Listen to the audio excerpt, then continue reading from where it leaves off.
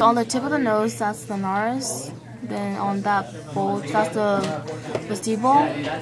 Then the superior concha, middle concha, inferior concha. Then the nasal pharynx is that area right there. The oral pharynx. And then the laryngeal pharynx. Then the palatine tonsil is Where would it be? I think it's up here. Palatine tonsil. Oh, the palatine tonsil. I think it, it was down there Like right that we can't see it. Yeah. And then the uh, epiglottis is Is what again? epiglottis.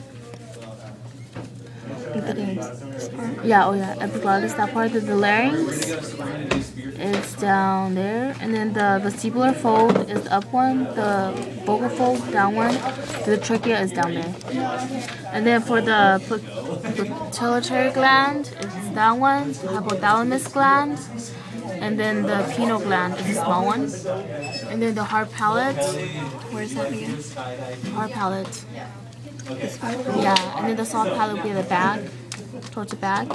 The um, esophagus is towards the mid. Then the tongue is the upper part of that. Then the oral cavity is the mouth. The palatine tonsil is that part down there. And then the uvula is the V part.